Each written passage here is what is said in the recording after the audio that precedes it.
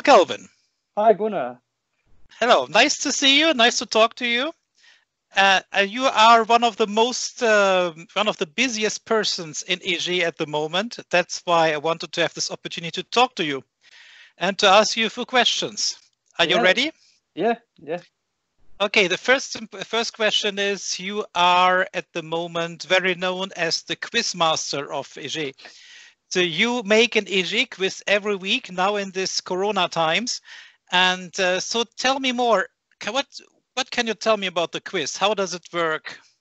Well, um, I th I think it's best to explain the format first. So there's um, six rounds, and each round has a different topic. So uh, the first round is usually chosen by the winner of the last week. The second round is voted on on a Telegram group.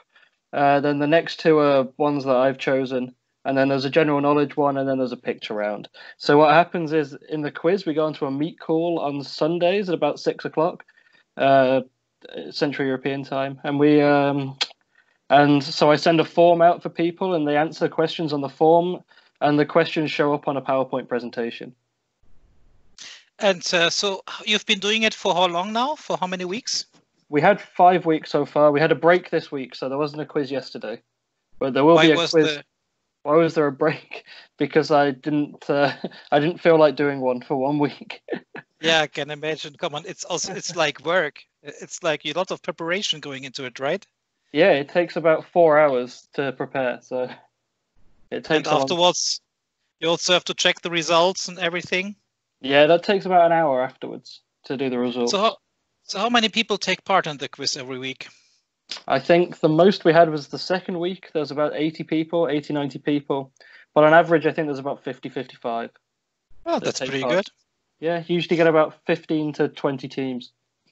Did you expect uh, this big uh, feedback or this interest in the quiz? Um, no, not really. In the beginning, I thought it'd just be like a few people. It was really good to see so many people taking part. And so many, like, we've got some older people as well that take part, like Paul Schmitz and then we've got some new people. So you can have a mixture of questions, and we've had a few questions about AEGEE that people have gone like, uh, uh including me. I was like, what does any of this mean in the question? Okay. and, uh, and you said it's like every Sunday usually. Can still new people join? Yep, uh, new people can join every week. I think someone is keeping a leaderboard for the whole thing, but as far as I'm concerned, it's just every week. It's like a clean slate. Can can you can you give a tip to people who want to join now? What's the best strategy to get a good score? Oh, uh, well, obviously you can cheat, which caused some controversy. but uh, but the best way to get a good score is probably just know your stuff. I don't know. Uh. Just just make sure you have a team where everyone knows like has a good rounded knowledge. Okay. Anyway, sounds very interesting. Have you done quizzes like this before?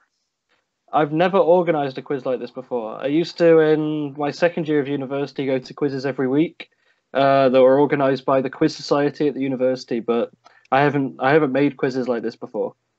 Oh, nice. And so I said at the moment the quiz is on a break, but this weekend is the next opportunity for people to take part again. Yeah, it is, and we're going to have a round which is for AEGEE Day, so ah, it'll be good. So I'm tying that in. Yeah, cool.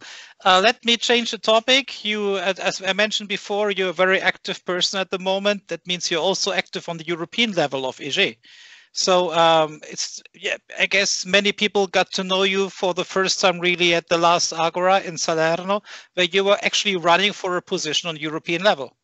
Uh, can you remember what what what it was about? It was for the uh, European Citizenship Working Group coordinator position. Um, yeah. did you? How did it feel being on stage? I was very nervous, to be honest. It was a bit scary. I've never spoken in front of that many people before, but um, I, I was the only person running for a few weeks, and I thought like, oh, well, like I'll keep the candidature there because I'm the only person running, and they need someone for the position. And as soon as someone else applied, I thought, oh no, uh, now like there's not much chance or whatever but I, I, I, said to myself, I'm going to stay and do the presentation so I can prove to myself that I can do it. And that's why I did but, it. but uh, I've heard you got a lot of positive feedback from other people about your candidature.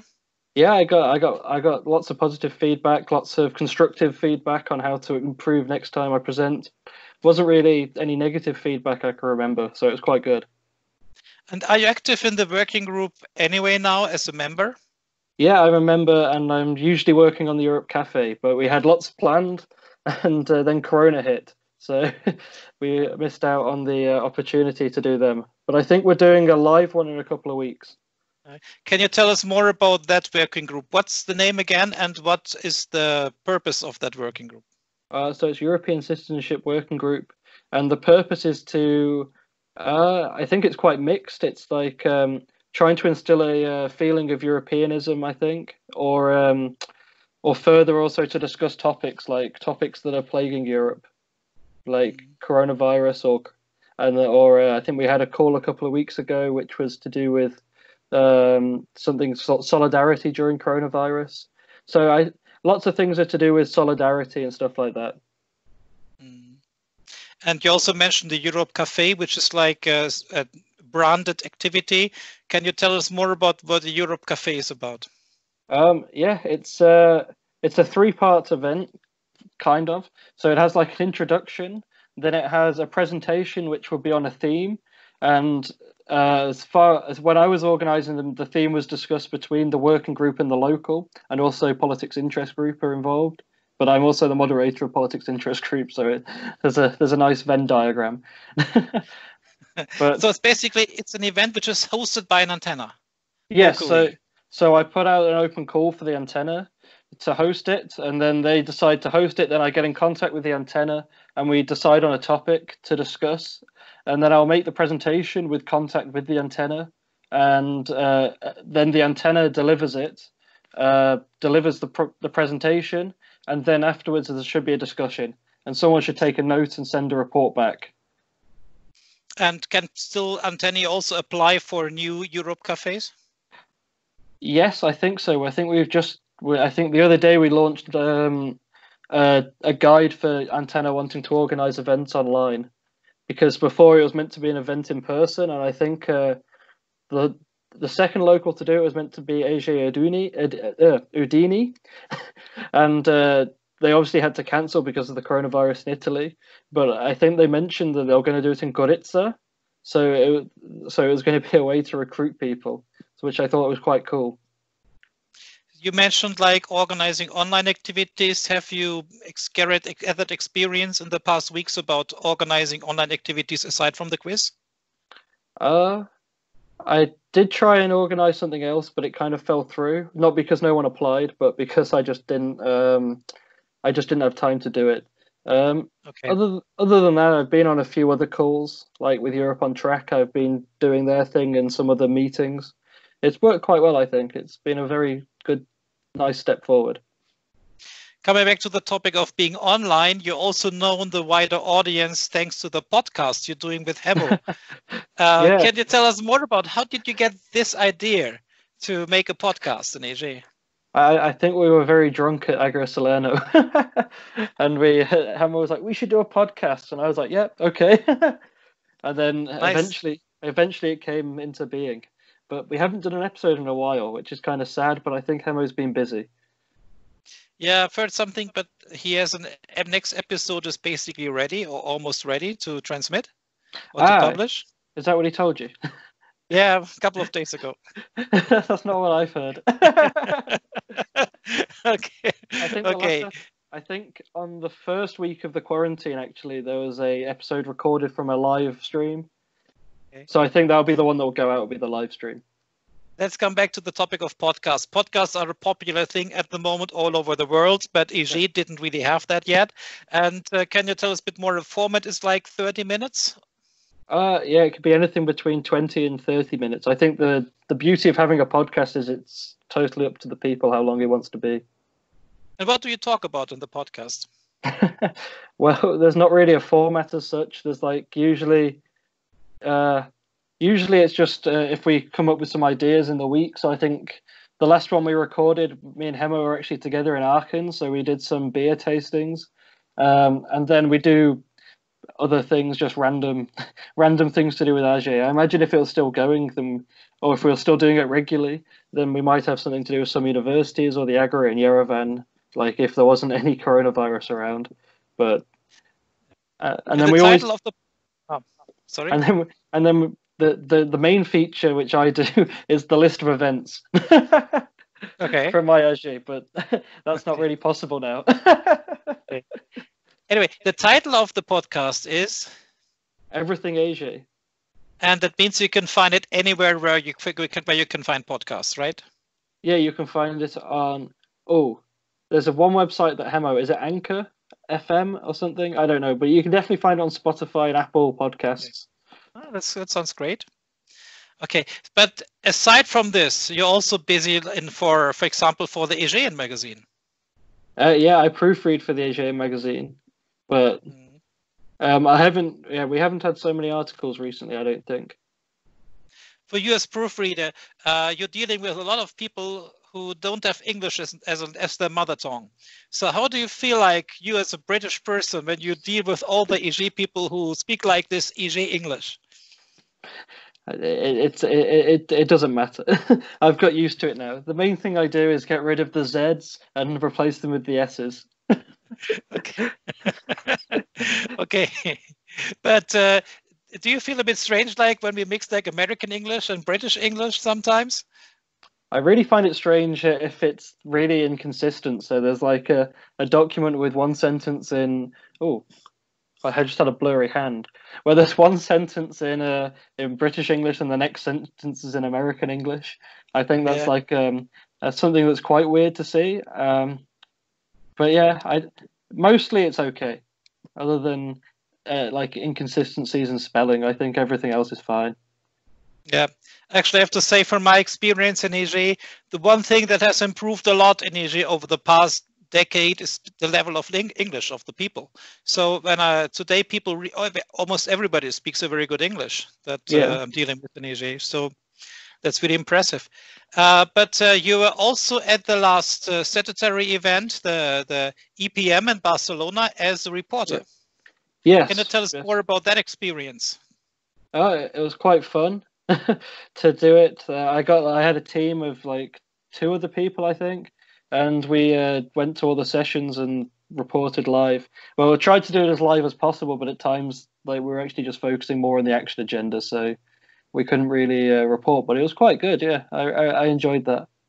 Yeah, you have also participants, so I guess it's quite difficult to share yeah. the responsibility. Yeah. yeah. Yes, and I've heard you're also working for the AEGEE Wikipedia. You're contributing to the AEGEE Wiki.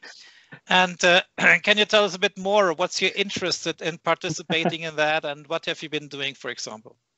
Well, mainly recently I, I created some pages like AEGEE Sheffield page and uh, added some information. I edited the interest group page, just things I'm really working on. So like I just add the information which is relevant. But today I was uh, I added all the numbers next to the CDs today, um, so you know which CDs which number. And I also added the list of all the chair people I could find for the uh, Agora. which was uh, interesting to say the least. So, with this broad portfolio of things you're doing in AEGEE, is there actually a place which is which you like most, some activity you like most, something which you, where you can find but something you want to focus on in the future? Uh, I just like doing most of everything. Like I, I quite like thematics, but I'm not an expert in them. So, like I like to get involved, but I don't if you understand what I'm trying to say. yeah, yeah. yeah I, I, was I seeing you mentioned something online. You want to organize an event about mathematics. yeah. I think it was partly partly a joke. I don't think many people would want that. ah, you never know. But it's a good chance, I guess, to get people from outside of AEGEE to be interested in that event. I remember I was, yeah. Well, not only. I mean, I remember I was going to an event about neuroscience taking place in Vienna many years ago. And to tell the truth, I had no clue about neuroscience at all. And actually, I didn't have understand half the lectures. But it was fun to be in Vienna. And there were a lot of participants who actually enjoyed it. Half the participants were from out, outside of AEGEE and they had an amazing time. So don't underestimate yeah. these kind of events. It can be, mathematics can be really fun, I guess. Yeah, I, I think so. I heard about this event that um, Sheffield and Manchester did before I joined, um, to do with something to do with um, it was like a detective course or something, and there was quite a lot of maths involved. I heard. Okay. So what did they find doing the detective course? I don't know. I only heard from a participant. Okay.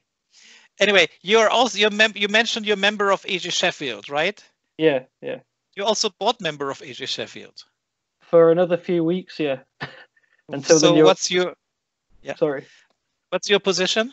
Uh, I'm PR responsible, but I I don't I don't do an overly lot over overly lot of PR. I, I mainly just do the position of a board member. Like in some locals, they just have a board member. Like I, I guess, yeah. I guess So- in these times doing PR is not that easy anyway. Yeah, and I'm not necessarily an expert in PR, so um, we have we have we have another board member that also does PR, so we Okay. we kind of split it between us. But I think you don't actually live in Sheffield, right? No, I live in Nottingham, which is about sixty kilometers south. Okay. And uh, so how is AEGEE Nottingham doing? well, I was going to found it, but then I um, and then I came in some difficulty with the uh, with the students' union here, so I couldn't do it. And I'm leaving next year anyway, so there's no point. Or at the end of this year, I'm leaving. Or sorry, not even the end of this year. In September, I'm leaving. and uh, I thought maybe there's no point doing it if I can't get anyone active before Yeah. September. Let's come back to the future. Uh, Yeah. can you tell us more about what you've mentioned with the student union? So why is it difficult to found an AEGEE contact in uh, the UK? Well, in Nottingham, it's different from Sheffield, so every university has a different set of regulations. And the one here is that the regulation is that you have to have 20 members to start the society. 20. That's a lot. 20, yeah, which exactly is the problem. Like, I don't know how I'd get 20 members. And I tried to reach out to a few societies, like there's the European Union Society and there's other societies, and they weren't interested. So Yeah. I thought, well, okay, can't really do Yeah, much else. That's that's uh, really not so easy then. And uh, but you said you're going going away now. That means where do you want to? Where are you going to be in, in autumn? Uh, I really don't know. Oh, I'm okay. I, I'm trying to find somewhere to do my masters, so I'm applying to Aachen and to Vienna and why Aachen? uh, because that's where I did my Erasmus. so I Okay. already know the city, I, and they do the course I want to do because it's technical. And uh, you've been member of AEGEE Aachen before. Yeah, yeah, I still am, but obviously I'm not living there. Uh, that's how you got in contact with AEGEE for the first time, right? With AEGEE Yeah, Aachen? yeah, I, I found out about Okay. about in 2018, but I didn't join until 2019. Okay. yeah, Yeah. Well. that's- too busy partying. yeah, well, the Erasmus, I guess you have a lot of distractions. Although, Yeah. isn't AEGEE Aachen doing all the Erasmus activities? Um, I think so, but I think they've scaled it down a bit recently. I don't think Okay. it's happening as much now, um, especially with Corona. I don't think there's any uh, activities, Yeah. or maybe there is. A, I'm not that active anymore with them, so Corona is a good uh, keyword uh, because uh, you live in the UK, and UK is basically like uh, the country in Europe which has the steepest curve when it comes to uh, new infections. So, how do you feel like living in the UK at I, the I, moment? I feel okay personally because I don't leave the house that often, um, and I'm quite young. But I think like if um, yeah, there's definitely an issue. I think the government acted too late uh, in putting any measures in place. Like we could have had a German style lockdown if we acted really fast, but Yeah, but you but you have Boris didn't. Johnson, so the, he he apparently he didn't even make a reaction until mid mid March. yeah. Like he, he was told in the beginning of February by the scientific advisor that he should do something, and he didn't do anything for six weeks. Yeah. So well, it's just it's just what happens when you vote for these people, I suppose. Yeah. Maybe, probably, maybe not the best uh, prime minister you ever had in the UK. Well, he likes to think he's Winston Churchill, well, who, who Yeah, either well. isn't the best prime minister we ever had. so who was the best prime minister the UK ever had? oh, I, I don't know. I like um I like Attlee. He's quite good because Okay, he, he created the welfare was- state.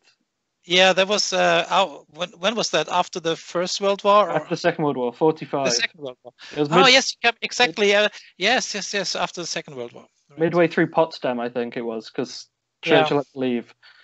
Exactly. that was the that when Stalin was uh, saying what what what is what the what the hell is going on here? Uh, I'm the only one who was left. All the others are new. And also, it helped him uh, get a bigger foothold on Eastern Europe, I think. Yeah. well, anyway, from the book, from the book I finished today, that's what it implies. No, I remember also uh, watching a documentary which was saying that Attlee was too soft, and uh, because he was pretty new to the job as well, and uh, so Yeah, yeah. but he was quite good internally. I think he was good at rebuilding. Yeah. So it's your fault that you gave up Eastern Germany, I guess. It's our fault a lot of things happen. yeah. well, you gave the country with a huge heritage. I mean, you ruled half of the world, so yeah. but we were ruled by Germans, so Oh yes, but you, they, they changed the name, so they not don't have a German name at least anymore. I I read a good joke earlier actually uh, that they changed their name to uh, from Saxe Coburg Gotha to Windsor. So if Kaiser Wilhelm said, "Why don't we change the play by Shakespeare called The Merry Wives of Saxe Coburg Gotha?" that would be really uh, a change. Apparently, Anyway, it was the only uh, time Kaiser Wilhelm made a joke. Anyway, so uh, basically, I'm nearly done. I just have like uh, one more question to you. Uh, you uh, recently mentioned that you're one of the very few um, that you found out that there were very few British people who ever joined the CD, right? Yeah, I think I found those three. Did I can't remember three, two or three, and not Yeah. since 1980s or something. Yeah. Would you like to change that?